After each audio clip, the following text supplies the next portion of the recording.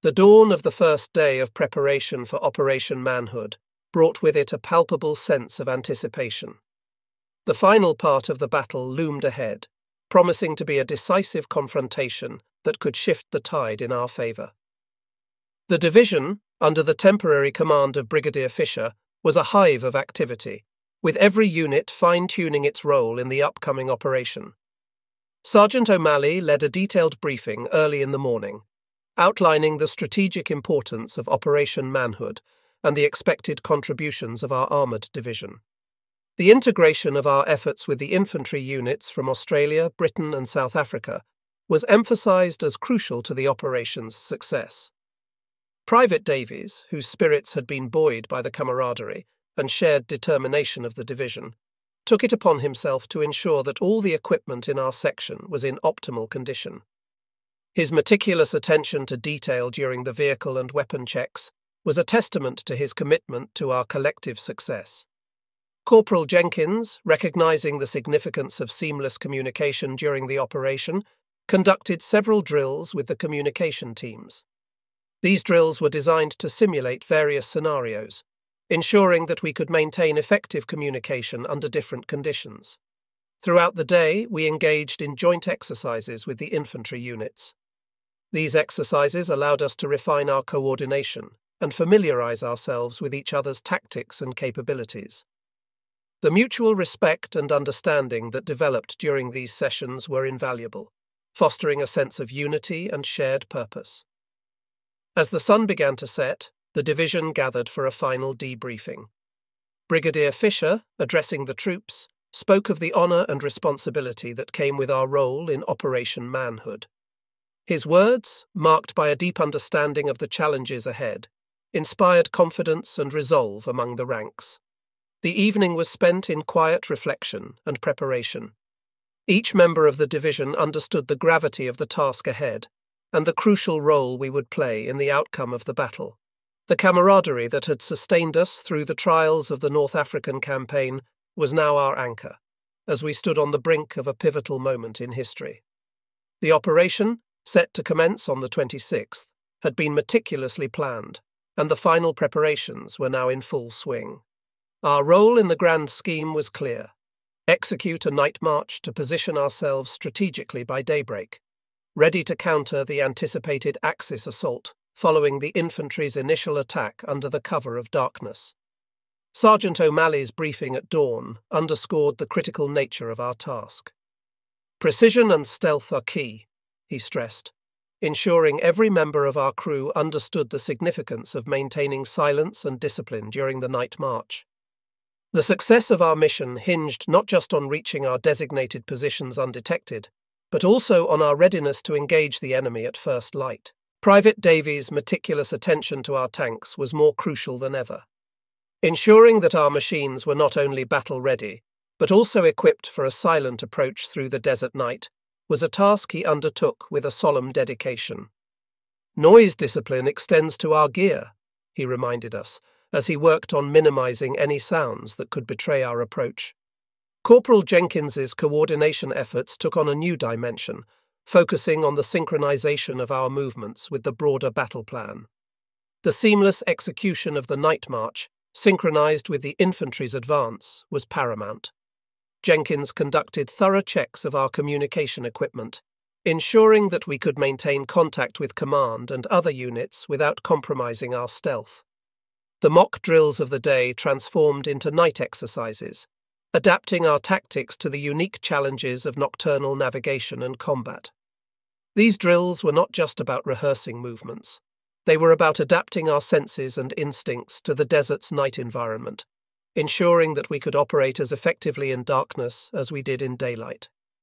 The final briefing by Brigadier Fisher was not just a recapitulation of our objectives, but a reminder of the strategic importance of our mission. Your actions in the pre dawn hours will set the stage for the entire operation, he articulated with a gravitas that left no room for doubt. Your discipline and courage will pave the way for our infantry to hold the ground they capture. As night enveloped the camp, the sense of anticipation was almost tangible. The operation's success depended as much on the execution of our night march as on the bravery and precision of the infantry's attack. This was a moment that would test our resolve, our training, and our unity as never before. I spent the night reviewing the route, the contingencies, and the signals. The faces of my crew, etched with determination and trust, were a constant reminder of the responsibility resting on our shoulders. The promise I made to myself and to my men was simple yet profound to navigate the silence of the desert night with unwavering resolve, to emerge at daybreak not just as a force poised for battle, but as the embodiment of the hope and determination of the Allied cause. The final day before Operation Manhood was one of quiet intensity. The entire division was engaged in the last minute preparations, with each man and machine fine tuning their readiness for the night march that lay ahead. Sergeant O'Malley convened a series of final checks on our tanks, paying close attention to the stealth modifications we had implemented. The importance of a silent approach could not be overstated, and O'Malley's meticulous nature ensured that nothing was left to chance. Remember, lads, silence tonight is our greatest ally, he reminded us, his voice carrying the weight of the impending mission. Private Davies, whose dedication to our tank, Bessie, had become a source of pride for the entire crew, was double checking every potential source of noise. His efforts to secure loose equipment and tools were thorough, leaving no stone unturned in his quest to minimize our acoustic signature. Corporal Jenkins, meanwhile, was coordinating with the signals unit to establish a set of communication protocols for the night.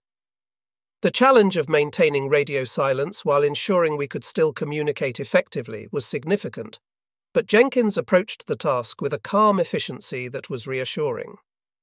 As dusk approached, the division gathered for one last briefing. Brigadier Fisher outlined the strategic importance of our role in the operation once more, emphasizing the need for discipline and silence during the march. The success of tomorrow's operation begins with tonight's march, he stated firmly. Your actions will determine the battlefield's balance come dawn. The tension of the upcoming night march was palpable as darkness fell over the camp. Each crew member spent the remaining hours in their own way, some in quiet contemplation, others in whispered conversations with comrades.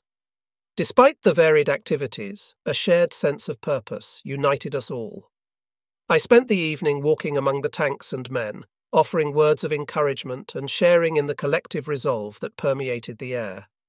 The trust and camaraderie that had been built over countless days of preparation were our most significant assets. We march together as one, I reminded my crew. Each of us plays a part in the success of this operation. As midnight approached, the division readied itself for the march. The engines of our tanks hummed to life, a sound muffled by the desert night. In the darkness, we moved out, a ghostly caravan winding its way through the sand. The only evidence of our passage was the soft crunch of treads on the desert floor, quickly swallowed by the vast silence surrounding us. The march was a testament to our discipline and training. Despite the darkness, we navigated the desert terrain with precision, guided by the stars and the faint outlines of the landscape. The hours passed in a tense silence, each man focused on the task at hand, aware of the critical nature of our mission. As the first light of dawn began to touch the horizon, we reached our designated positions. The operation was about to begin, and we were ready. Our night march, executed with stealth and precision, had positioned us perfectly to support the infantry's assault. The quiet of the desert was about to be shattered by the sounds of battle, but we were prepared. We had done everything in our power to ensure the success of Operation Manhood. Now, as day broke over El Alamein, we stood ready to fulfill our role in the coming engagement, united by a single purpose and an unbreakable bond of brotherhood. The eve of Operation Manhood found us in a state of heightened anticipation, our actions guided by the meticulous plans laid out for the night march. The day had been a blur of activity, each of us absorbed in the final preparations, acutely aware of the importance of the task at hand. As I walked through the ranks of our armoured regiment, the air was thick with a blend of determination and underlying tension. The men were busy with last minute checks on their vehicles, ensuring that every tank was in optimal condition for the journey ahead. The clank of tools and subdued commands filled the air, a testament to the urgency and focus that had taken hold of us all. Sergeant O'Malley was a force of calm efficiency, his voice steady as he oversaw the loading of supplies. His occasional joke did more than lighten the mood. It reminded us of the camaraderie that had carried us this far. Yet beneath his composed exterior, I could sense the same nervous energy that gripped us all, a shared understanding of the challenges that lay ahead. Private Davies was hunched over a map with Corporal Jenkins, their heads close together as they discussed the route we would take. The importance of stealth and precision was paramount. Any deviation could compromise our position or delay our arrival. The seriousness with which they undertook their task spoke volumes of their commitment and the collective anxiety about the night's operation. In the midst of the preparations, I found myself grappling with the weight of leadership. Each decision, each order carried with it the lives of my men and the success of the mission. The responsibility felt immense, a constant companion amid the whirlwind of activity. Yet there was no room for doubt. My focus remained on ensuring that every detail was addressed, that every contingency was planned for. As the sun began to dip below the horizon, casting long shadows across the desert, the atmosphere among the crew shifted. The banter and activity of earlier hours gave way to a more introspective mood. Men checked their personal equipment, wrote letters home, or simply sat in quiet contemplation. The reality of what was to come hung heavily in the air. The night march was a critical element of Operation Manhood, our movements cloaked in darkness to secure a strategic advantage at dawn. The success of the operation hinged not just on our martial prowess, but on our ability to move as one, undetected and precise. In those final hours before departure, as darkness enveloped the desert, a palpable sense of unity emerged. Despite the underlying anxiety, there was an unspoken confidence in our abilities, a belief in our training and in each other. We were more than a unit. We were a family, bound by a common purpose and a shared resolve to face whatever the night might bring. As I looked out over the assembled ranks, the last light of day fading into night, I felt a profound sense of pride.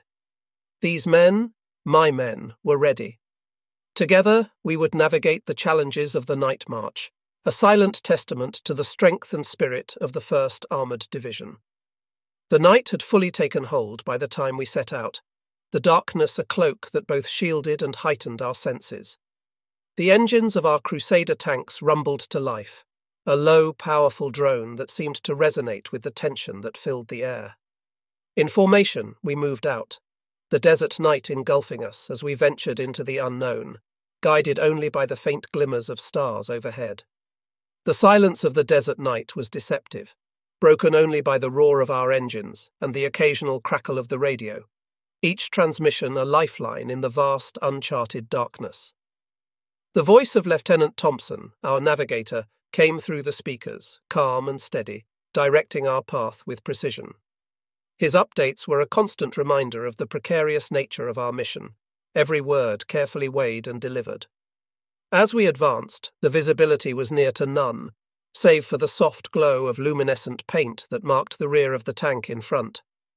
This faint guide was all that stood between cohesion and chaos, a thin thread that we dared not break. The sensation of moving through such obscurity was disorienting, each tank an island of steel and determination, rolling through the sand in tight formation. The tension within my own tank was palpable, a living entity that sat with us in the cramped confines of our metal beast, Bessie.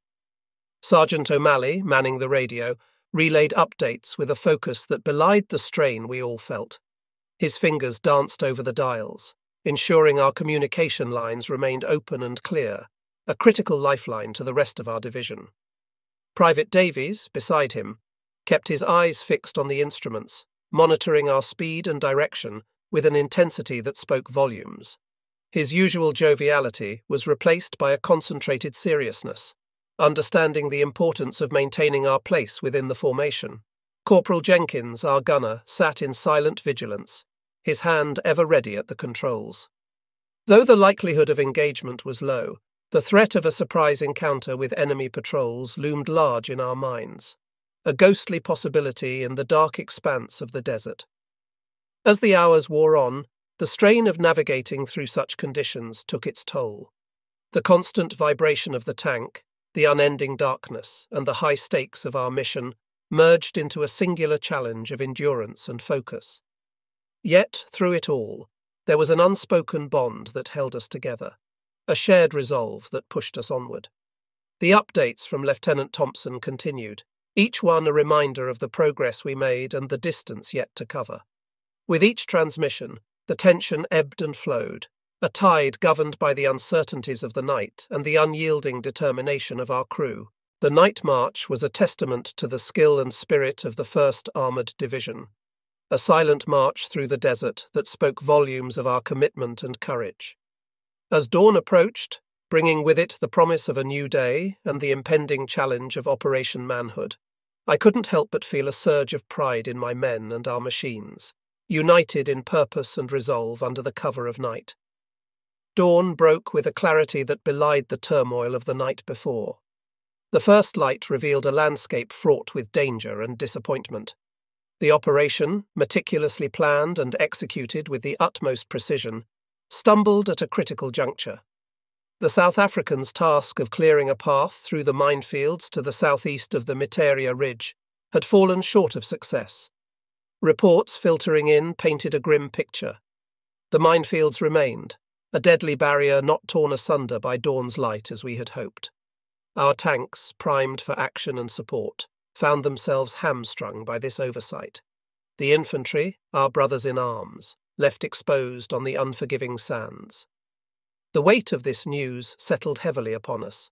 A tangible shift in the air as the realization dawned that one Australian battalion and one British brigade bore the brunt of this misstep.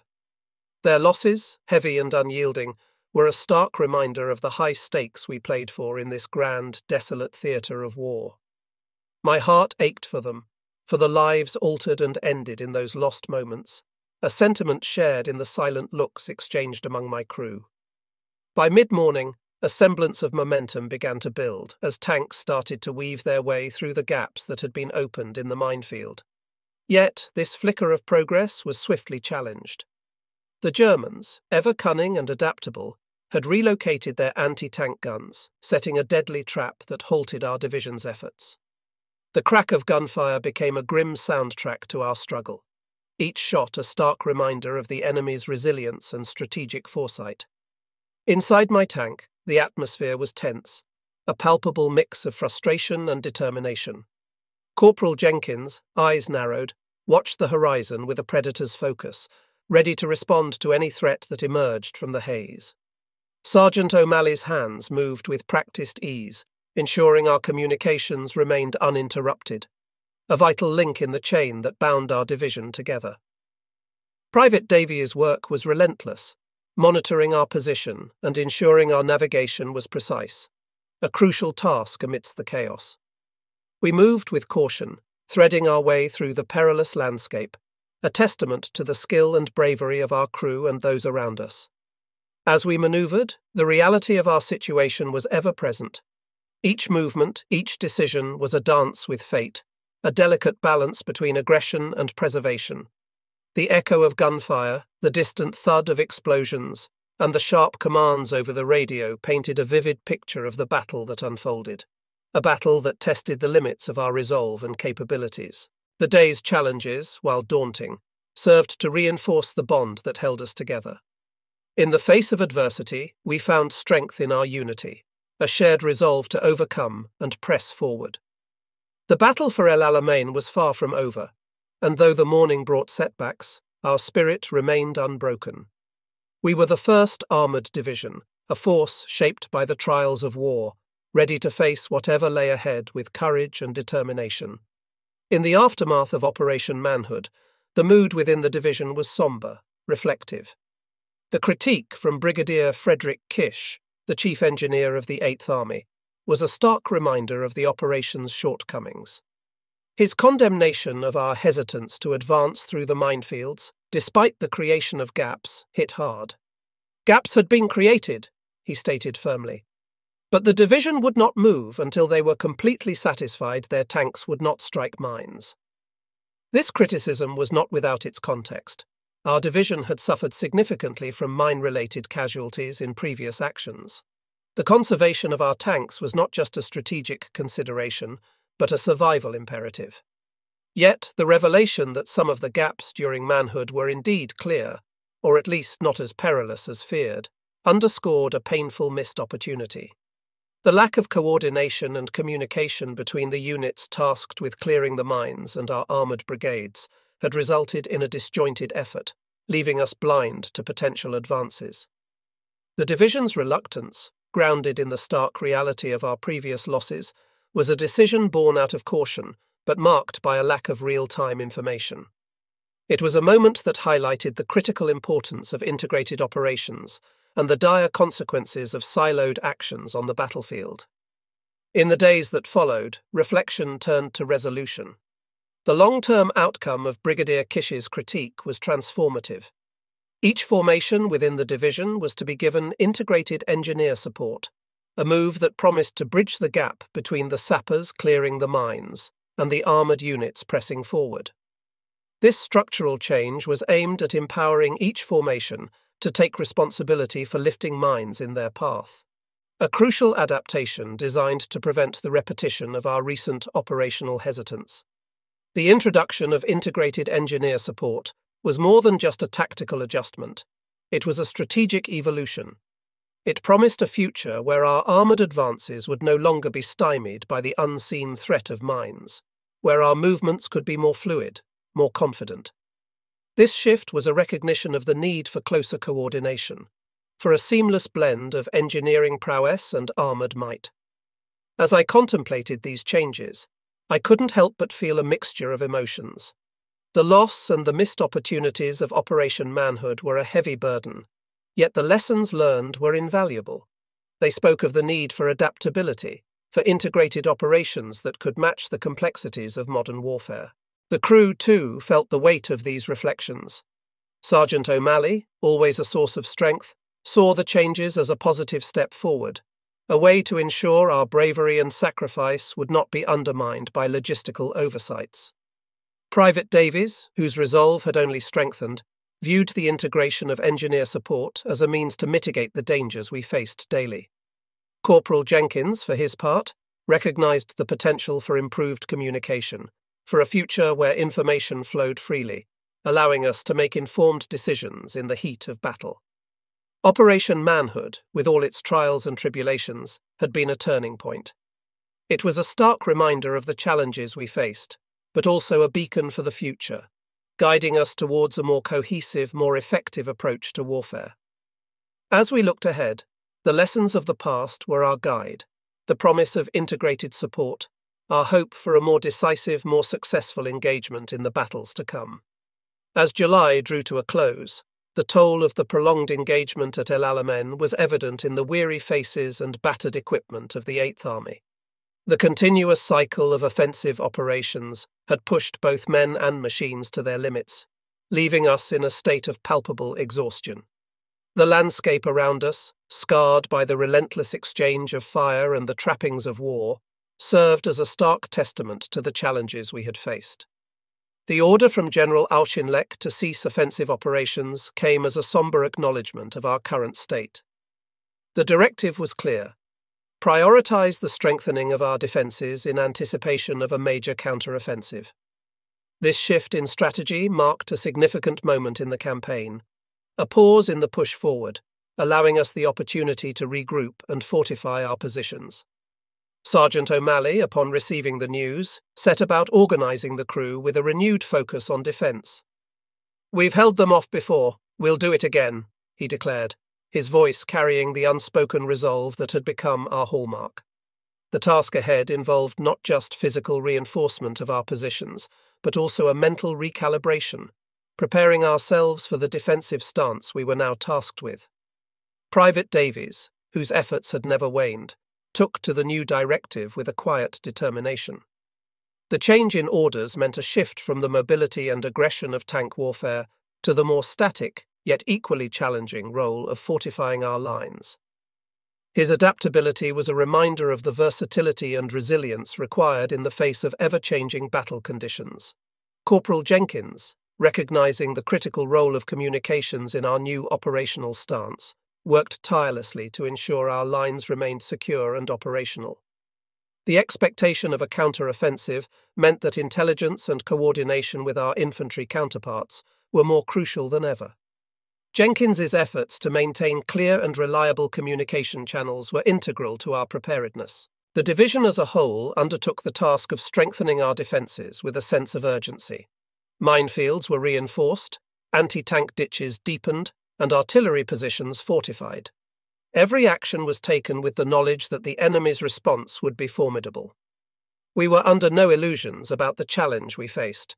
The Axis forces were determined, and their counter-offensive would test the mettle of our newly reinforced defences.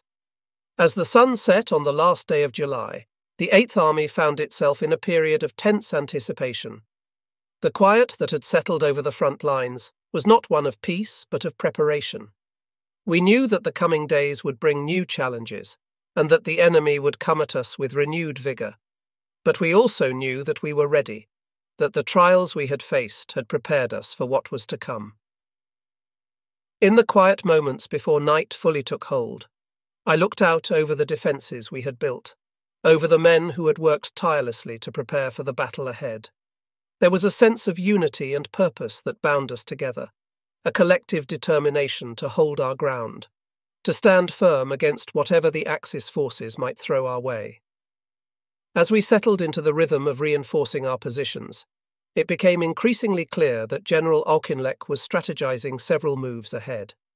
The understanding within our ranks was that Field Marshal Erwin Rommel, the Desert Fox himself, was in a race against time.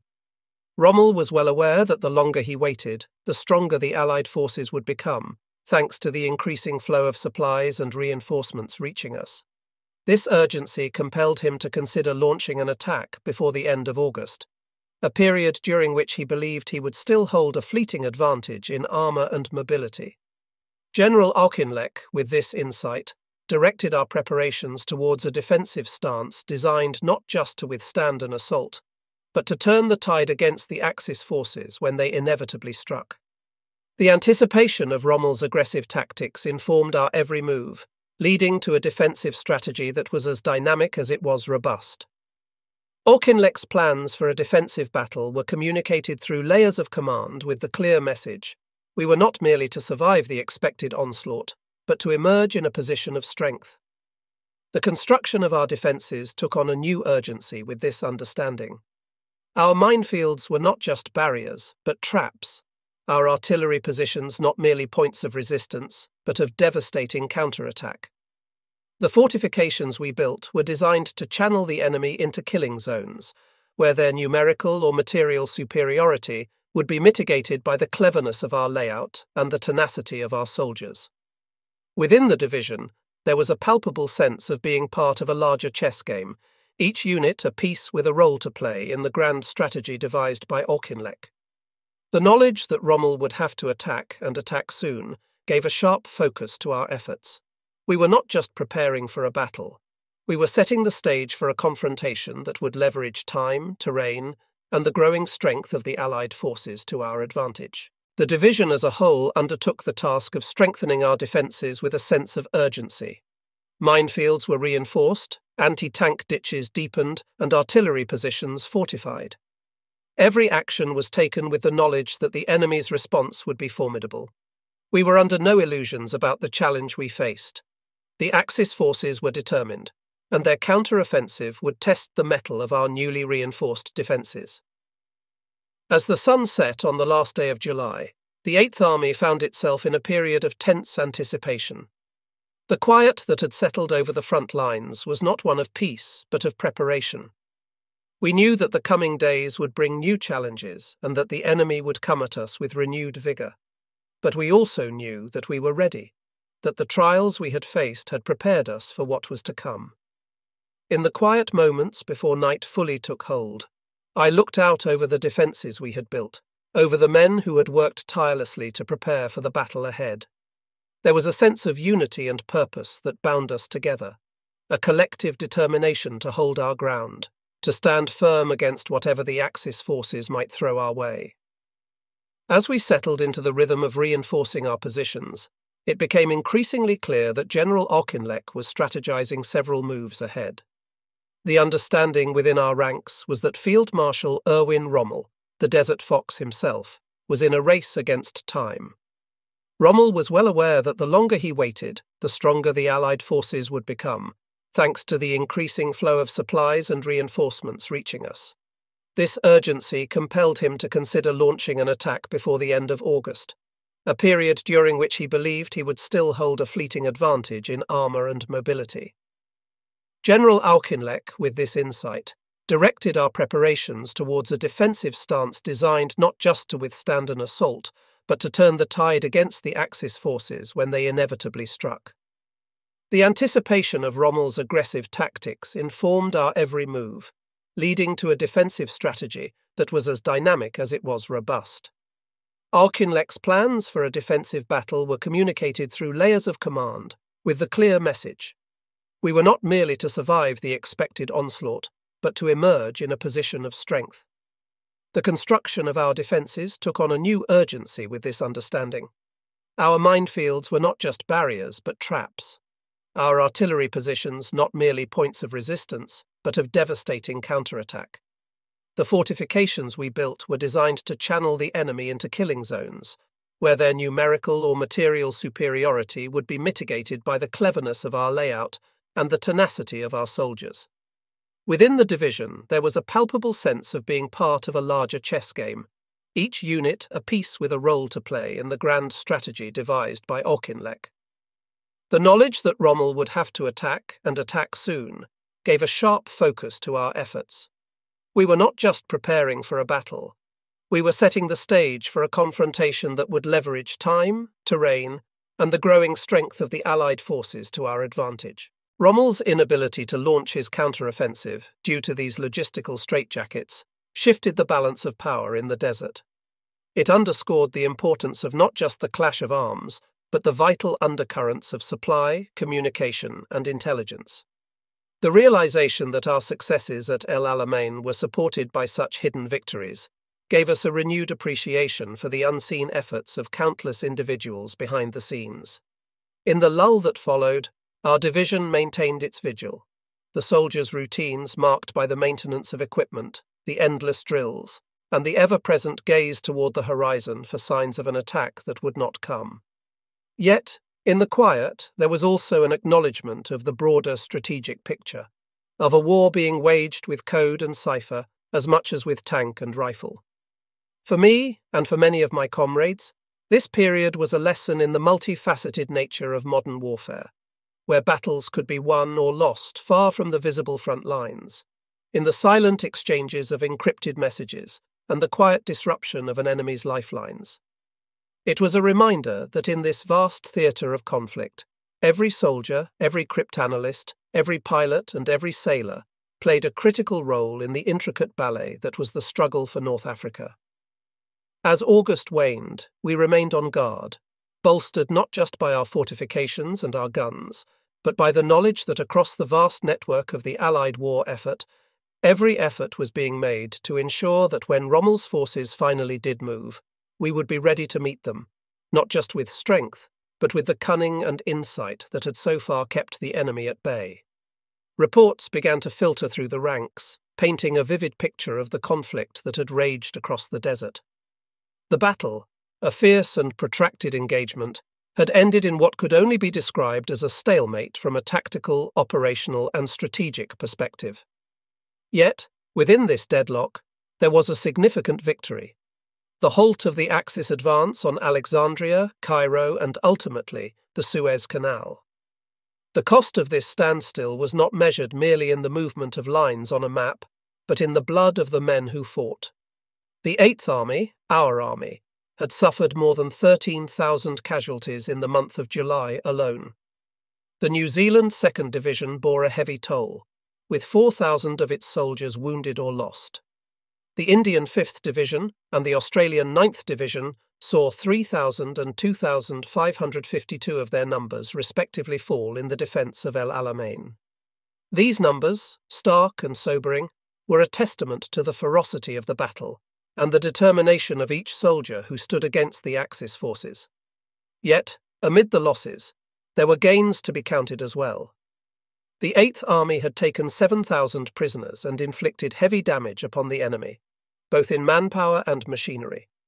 Each Axis tank destroyed, each position held against the onslaught, spoke of the resilience and courage of our forces. The cost was high, but the defence of El Alamein had thwarted Rommel's ambitions, providing a much needed reprieve and the opportunity to regroup and plan for the battles that lay ahead. The aftermath of the First Battle of El Alamein was a time for reflection for all of us. As we heard reports of the casualties and the moments of valour, a deep sense of pride mixed with sorrow filled the air. We mourned the loss of our comrades and felt the weight of their sacrifice, and yet we also drew strength from what had been achieved. The battle had proven that, even against formidable odds, we could hold the line, and that the spirit of the Eighth Army was unbroken. For my crew and me, the reports were a sombre reminder of the reality of war. Sergeant O'Malley, ever the stoic presence, spoke of the need to honour our fallen by continuing the fight with even greater determination. Private Davies, young and fiercely committed, found in the stories of the battle a wellspring of resolve, a determination to stand firm in the face of the enemy. Corporal Jenkins, quietly reflective, recognised the invaluable role of each unit in the mosaic of defence, understanding more deeply the interconnectedness of our efforts. As we prepared for what was to come, the legacy of the First Battle of El Alamein lingered in our minds. It was a beacon, a reminder of what could be achieved through unity, bravery, and sacrifice. The battle had ended in a stalemate, yes, but it had also marked a turning point, halting the Axis advance and setting the stage for the next phase of the conflict. In the silence of the desert, beneath the vast expanse of the sky, we took a moment to honour those who had given their all in the sands of El Alamein. Their memory would fortify us in the days ahead, a constant reminder of the cost of freedom and the price of victory. Today marks the beginning of a much needed respite for us all. After the relentless pace of operations and the tension of continuous engagement, the division has been ordered into reserve. This break is not just a pause in the physical sense, but a crucial interval for rest, integration of reinforcements, and comprehensive training, which will include night marches to prepare us for future operations. The announcement of our move into reserve was met with a palpable sense of relief and a burst of spontaneous joy among the crew. The prospect of rest, even for a short while, felt like a balm to our weary spirits. For weeks we had been operating under the constant shadow of combat, our lives measured in the distance between engagements and the brief lulls that barely allowed for recovery. Sergeant O'Malley's reaction was emblematic of us all. His usual stoic demeanour gave way to a broad smile as he clapped the men on the back sharing in the collective sense of reprieve. Lads, we've earned this, he said, his voice carrying a lightness I hadn't heard in weeks. A bit of rest will do us good before we're back at it. Private Davies, ever the heart of our crew, was almost giddy with relief. The laughter and jokes that had become a rarity in recent times returned with a vengeance, as Davies orchestrated a mock parade to celebrate our temporary reprieve from the front lines. His infectious enthusiasm spread quickly, lifting the spirits of everyone around him. Corporal Jenkins, typically reserved, allowed himself a small smile, acknowledging the importance of this interval for reflection and rejuvenation. A well oiled machine needs maintenance, and so do we, he remarked, a nod to the upcoming period of training and integration that would follow our rest. As we began the process of moving into our reserve position, the atmosphere within the division was one of camaraderie and light-hearted exchange. Stories of past battles were shared, not with the somberness of recounting, but with the laughter of survival, a testament to the resilience and indomitable spirit of the men I have the honour to serve with. The exchange between crew members, once dominated by tactical discussions and operational updates, now veered towards plans for leave, the simple pleasures of a hot meal, a proper bed, and the luxury of time spent without the imminent threat of engagement. For many, this break would also be a time to write letters home, a chance to reconnect with loved ones and share the news of our brief respite. As night fell on our first day in the reserve, the camp was alive with the sounds of relaxation and recreation. The tension that had been an ever present companion seemed to dissolve, if only temporarily, under the desert stars. For the first time in what felt like forever, we could afford to look beyond the next engagement, to breathe, to rest, and to prepare ourselves not just physically, but mentally and emotionally for the challenges ahead. This period in reserve is a gift, one we will use to regroup, to integrate the fresh faces who will soon join our ranks, and to hone our skills further through training. But tonight we rest, we laugh, and we remember what it feels like to live without the constant rumble of tanks in the background.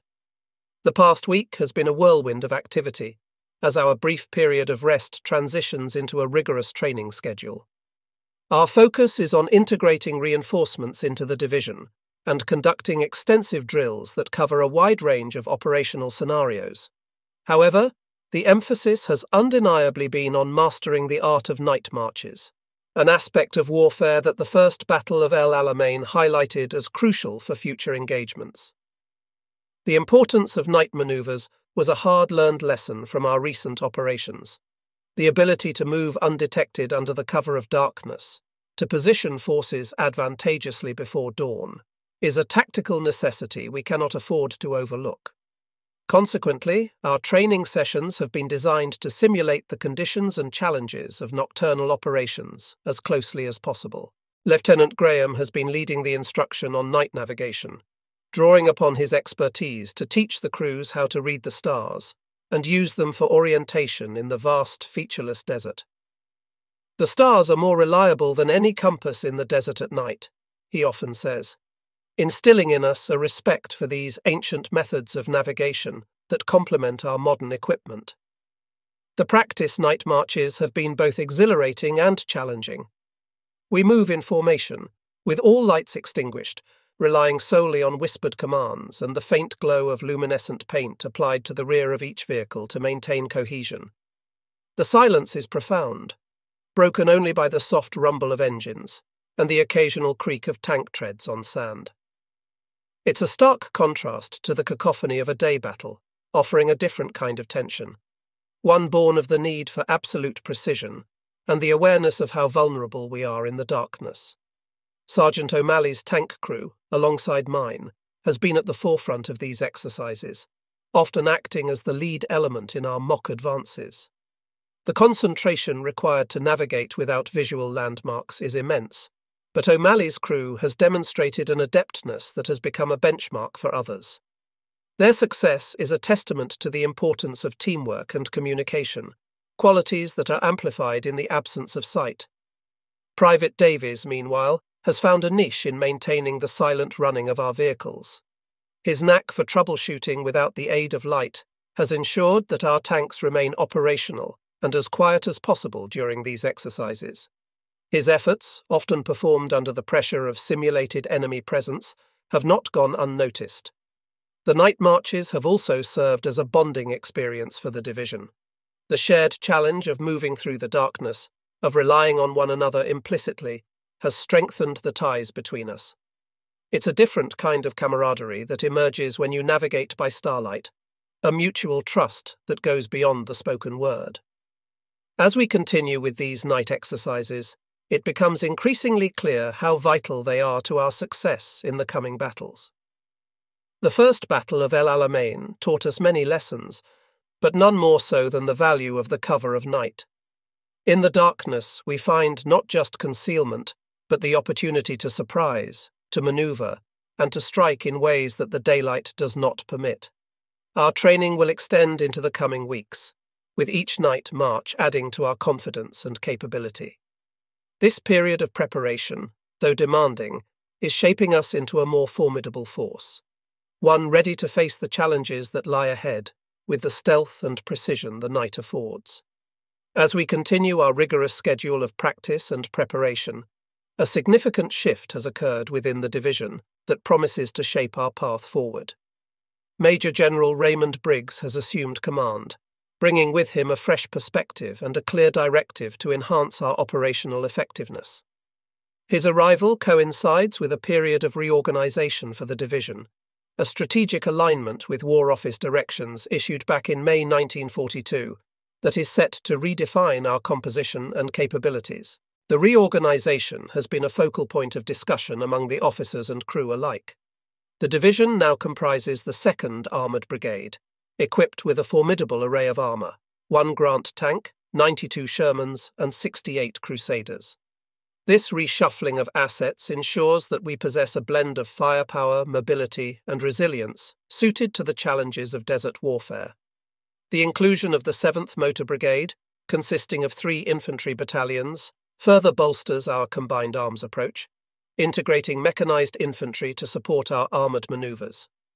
The transition under Major General Briggs's leadership has been smooth, marked by a series of briefings and meetings designed to familiarise everyone with the new organisational structure and the strategic vision moving forward. His emphasis on combined arms tactics and the importance of seamless integration between the armoured and motorised elements of the division has resonated strongly with us all. Unity of effort is our greatest weapon, he often remarks, underscoring the synergy that will be crucial to our success on the battlefield. Training sessions have adapted to reflect this reorganisation, with a greater focus on combined operations. Night marches continue to be a staple of our preparation, now complemented by exercises that simulate coordinated attacks involving both tanks and infantry. These drills are challenging, requiring precise communication and coordination, but they are invaluable in honing our ability to operate as a cohesive force.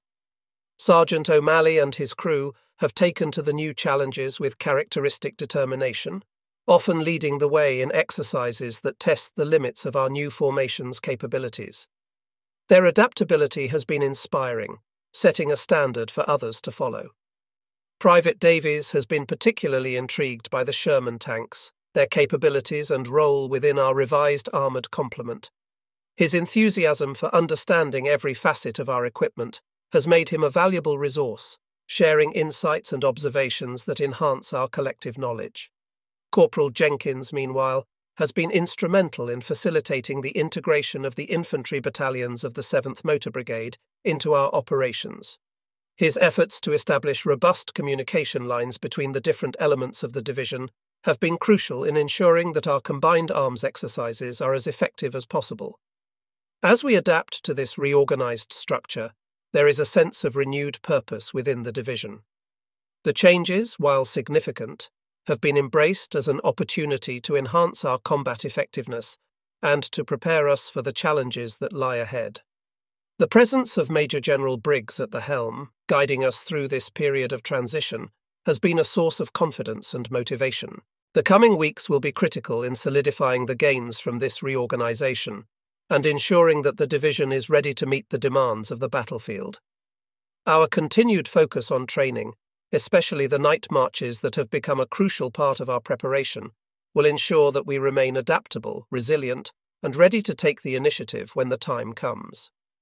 As we move forward under this new command and structure, the division stands as a testament to the dynamic nature of modern warfare, ready to confront the future with strength, unity, and a shared commitment to victory. In a development that has sent ripples throughout the entire Eighth Army, Lieutenant General Bernard Law Montgomery has assumed command, succeeding General Sir Claude Auchinleck. This change at the very top signifies not just a shift in leadership, but potentially heralds a new approach to our operations in the North African campaign. The news reached us amidst our intensive training regimen and reorganisation efforts, injecting a fresh sense of anticipation and curiosity about the future direction under his leadership. Lieutenant General Montgomery, known to some by his nickname Monty, brings with him a reputation for meticulous planning and a no nonsense approach to military leadership.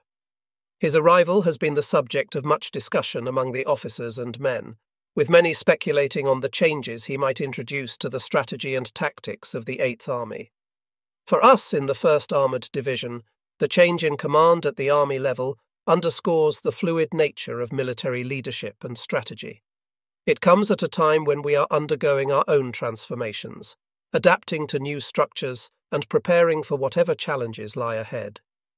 The coincidence of these changes has not gone unnoticed, emphasizing the interconnectedness of leadership, strategy, and operational effectiveness.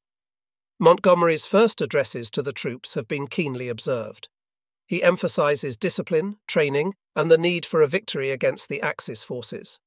His determination to turn the tide in North Africa is palpable, resonating with our own resolve to make a decisive impact. We ourselves will start to plan a great offensive. It will be the beginning of a campaign which will hit Rommel and his army for six right out of Africa, he reportedly declared, a statement reflecting both his confidence and his intent to pursue aggressive action.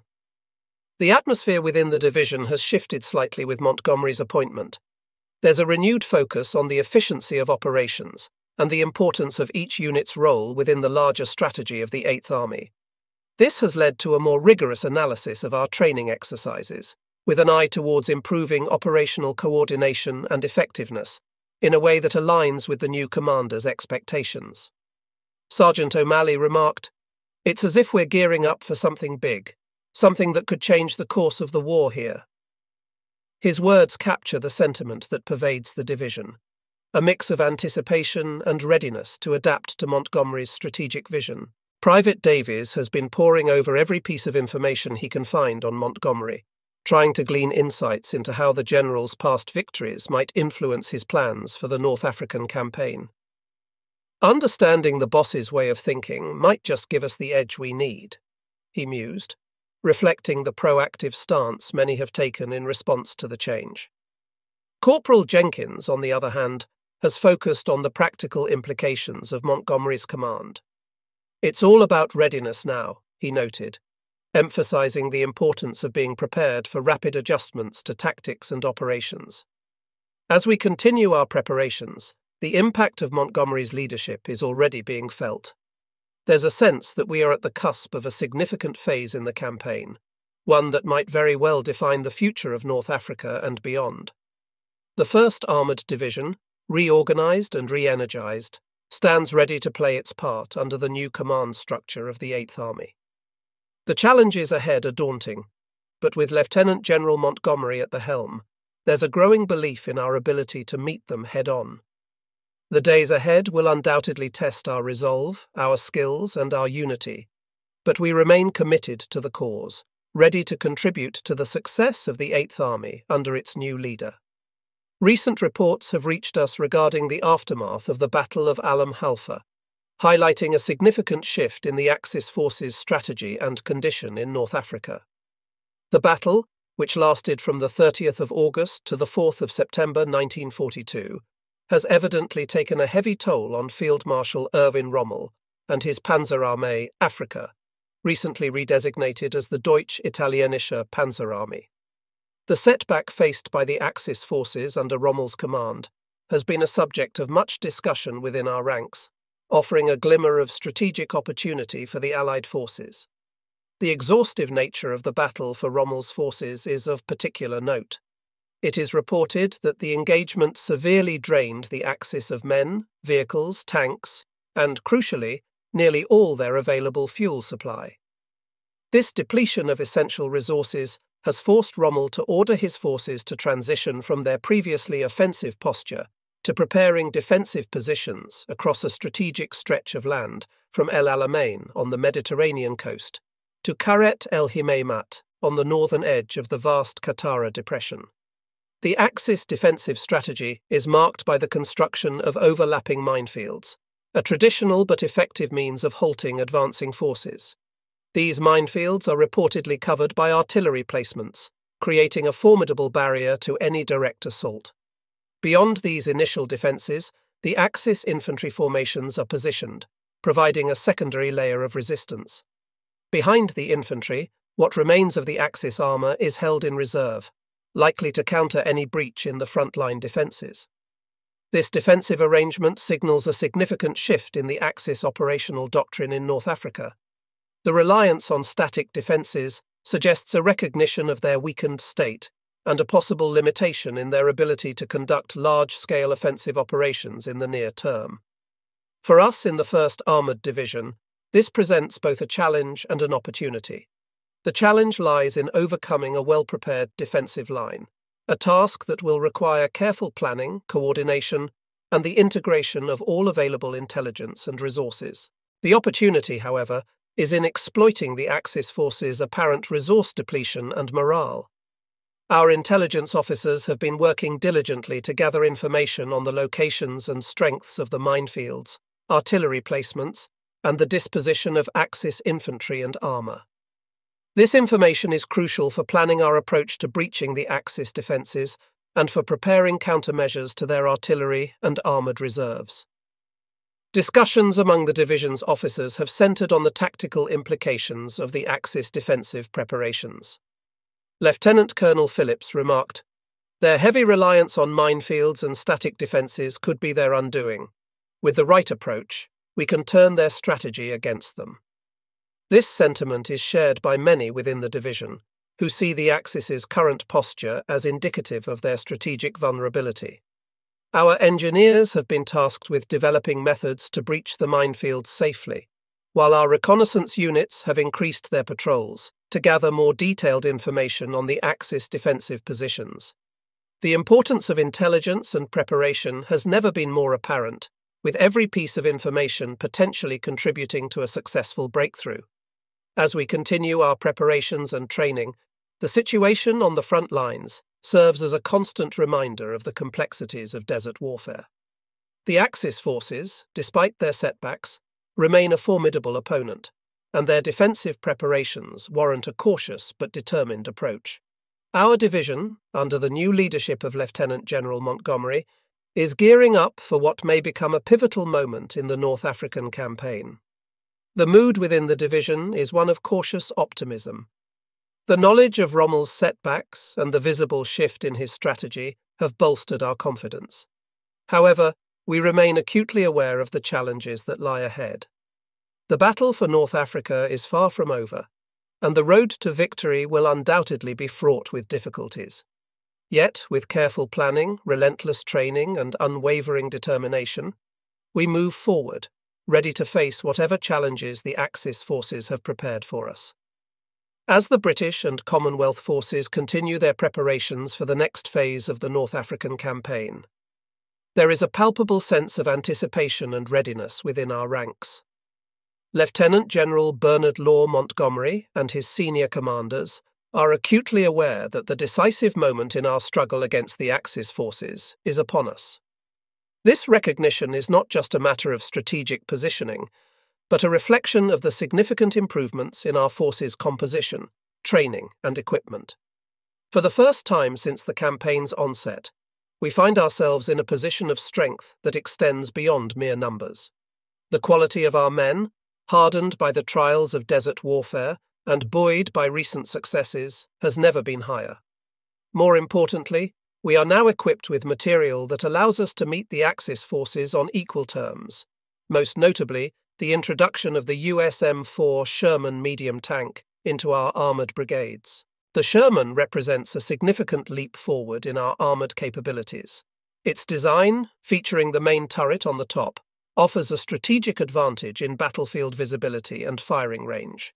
This design change is not merely cosmetic, but represents a fundamental shift in the tank's operational effectiveness, especially when compared to the preceding M3 Grant, whose main gun was mounted in a limited traverse sponson.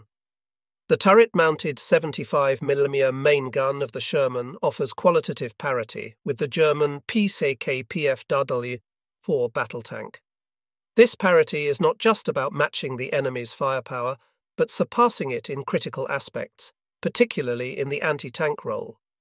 The Sherman's main gun, with its superior caliber and mounting, allows for more versatile engagement strategies, enabling our forces to engage Axis armour with increased confidence and effectiveness. The significance of this advancement cannot be overstated. For months we have sought an answer to the Axis's armoured superiority, and with the Sherman, we finally have a weapon capable of tilting the balance in our favour. The crews of our division have been quick to adapt to these new tanks, with training sessions focused on maximising their potential on the battlefield. Sergeant O'Malley, who has had extensive experience with a variety of armoured vehicles, remarked on the Sherman's capabilities with a note of approval. This is the tank we've been waiting for, he observed after a training session. It's going to change the way we fight. Private Davies, always eager to master new equipment, has thrown himself into learning everything he can about the Sherman. His enthusiasm is shared by his fellow crew members, who see the tank as a symbol of our evolving strength and a key to future victories. Corporal Jenkins, meanwhile, has been focused on integrating the capabilities of the Sherman into our combined arms tactics. The improved communication systems and the tank's operational flexibility offer new possibilities for coordination with infantry and artillery, enhancing our overall combat effectiveness. As we prepare for the coming battle, the arrival of the Sherman tanks has injected a new sense of optimism into our division. The knowledge that we now possess men of the highest quality, equipped with the right material, has fortified our resolve. Montgomery and his commanders have set the stage for a decisive confrontation, and we stand ready to seize the moment.